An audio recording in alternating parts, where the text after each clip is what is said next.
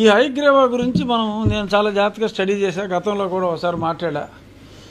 ఎప్పుడో నా మిత్రుడు రాజశేఖర రెడ్డి ముఖ్యమంత్రిగా ఉన్నప్పుడు రెండు వేల ఏడు రెండు వేల ఎనిమిదిలో అంటే అనగనగనగనగనగా ఓ పద్నాలుగేళ్ళ క్రితం ఇస్తే పదమూడు ఎకరాల ఎనభై సెంట్లు భూమి ఒక వృద్ధాశ్రమం కడతాం ఒక ట్వంటీ పర్సెంట్ ఏరియాలో. ఇంకొంత ఏరియాని ఏదో రోడ్లకి వాటికి పోగా మిగిలిన ఏరియాని ప్లాట్లు వేసి ఆ ప్లాట్లు కూడా ఒక పద్ధతి ప్రకారం వృద్ధులకే అలాట్ చేస్తాం. వాళ్ళు అక్కడంతా నివాసం ఉండటం కోసం ఒక కామన్ ఇన్ఫ్రాస్ట్రక్చర్ క్రియేట్ చేసి అని చెప్పి అలాట్ చేయించుకున్నారు. వాళ్ళు ఏమీ చేయలే. జగదీశ్వరుడు అనే ఆయన తీసుకున్నాడు. ఆ తర్వాత మారి మారి మారి మారి మధ్యలో అది ప్రోగ్రెస్ లేదు కాబట్టి క్యాన్సిల్ చేద్దాం అనుకుంటే మా ప్రభుత్వం వచ్చిన తర్వాత మరి పేపర్ కథనాల ప్రకారం ఆ లోకల్ ఎంపీ గారు ఎవరో వెంకటేశ్వరరావు గారు అని చెప్పి ఇంకొక ఆయన వాళ్ళు పార్ట్నర్స్గా చేరి అసలు మొత్తం ఏమీ లేదు. దాన్ని వెయ్యి గజాల బిట్లు ముప్పై ఒక్క బిట్ల కింద వేసి అమ్మేసుకున్నారు. ఆ జగదీశ్వరుడు అన్నోడు తోలేశారు. కలెక్టర్ మల్లికార్జున ఆయన మరి పాపం సిన్సియర్గానే మరి ఆ మాత్రం చేశాడంటే గ్రేట్ మహానుభావుడు అనుకోవాలి. అసలు ఇచ్చిన పర్పస్ వేరు. అసలు వాళ్ళు ఇచ్చిన ప్లాన్కి మనం ఇచ్చిన పర్పస్కి అసలు సంబంధం లేదు. సో కాబట్టి దాన్ని మొత్తం క్యాన్సిల్ చేసేయచ్చు అని చెప్పి కలెక్టర్ మల్లికార్జున గారు రికమెండ్ చేశాడు. సరే ఇంకా మా వాళ్ళు ప్రవేశించారు. మా వాళ్ళు ప్రవేశిస్తే ఇంకా ఆగరుగా. కలెక్టర్ లెటర్ పక్కన పడేశారు. ఇష్టం వచ్చినట్టు కొట్టేస్తున్నారు. ఆ ఇచ్చిన ప్లాన్లో ముసలివారు మరి పైకి వెళ్ళాలంటే కనీసం ర్యాంప్ అన్నా ఉండాలి లిఫ్ట్ ఉన్నా లేకపోయినా. ర్యాంపులే లేవు వాళ్ళు ఇచ్చిన ప్లాన్లో. లేఅవుట్లు వేసి అమ్మేసుకున్నారు. అది బాబు అంటే మొత్తం కొండ కొట్టేస్తున్నారు. మరి ఇప్పుడు మరి క్వశ్చన్ మార్క్ అయినా సరే వచ్చింది ఈనాడు పేపర్లో.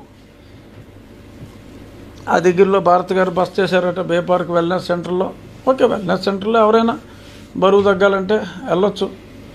బట్ ఆ పక్కనే దాని ఎదురుగుండానే మరి ఋషికొండ మరి అక్కడ ఈయనకి ప్యాలెస్లు ఈయనకి ఆఫీసులు నాలుగు మిలియన్ ఎస్ఎఫ్టీలు అక్కడ కొండంతా బదులుపుతున్నారు ఓకే అది రేపో మాపో వస్తుంది. చీఫ్ జస్టిస్ గారు మదర్ చనిపోయారు. ఆయన పది రోజులు పదకొండు రోజులు సెలవ. ఆయన వచ్చిన తర్వాత ఆయన వస్తుంది. అక్కడ నిజాలు చెప్తాం. బట్ ఈ హైగ్రేవా మీద మా పార్టీ పెద్దలు కన్నేసి మరి అదొక ఐదు వందల కోట్లు ప్రాపర్టీ అంట.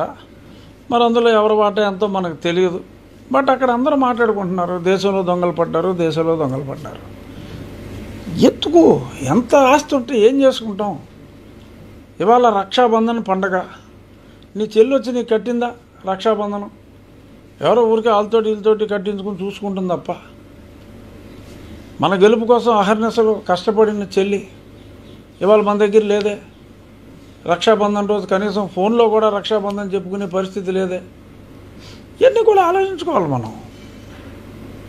తెలుసు కదా అందరికీ జనాలకి. So we should be role model అంతేగాని ఎవరితోటి చెప్పించుకునేలా ఉండకూడదు. ఏం చేసుకుంటారు ఈ ఆస్తి అంతా? అవసరం అక్కడ? ఆ వృద్ధాశ్రమం కోసం చక్కటి వృద్ధాశ్రమం కట్టించి లేదు గవర్నమెంటే టేక్ ఓవర్ చేసి చక్కటి వృద్ధాశ్రమం కట్టి అవసరం ఉన్న వృద్ధులకి తల్లిదండ్రులని చూసుకోకుండా వదిలేసిన కుర్రవాళ్ళు ఉంటే వాళ్ళు పోషించగలిగితే. ఎస్ పోనీ మీరు రాకండి రా బాబు ఒక అద్భుతమైన ఫెసిలిటీ క్రియేట్ చేస్తాం విశాఖపట్నంలో అని చెప్పి. ఆ సముద్రం ఒడ్డున పదిహేను ఎకరాలంటే మీరు ఒక వెయ్యి మందికి అకామిడేషన్ ఇవ్వచ్చు. చక్కగా వాళ్ళలో వాళ్ళు వృద్ధాశ్రమాల్లో ఉంటారు. ఒక మంచి ఇన్ఫ్రాస్ట్రక్చర్ క్రియేట్ చేయండి. ఆ వృద్ధుల ఆశీర్వాదాలు మనకు వస్తాయి. అన్నీ అమ్ముదోపట్టు అన్నీ అమ్ముదోపట్టు అన్నీ అన్నీ. ఇన్ని. ఎంత ఎంత కావాలి మనిషికి? ఆశకు అంత ఉండాలి కదా.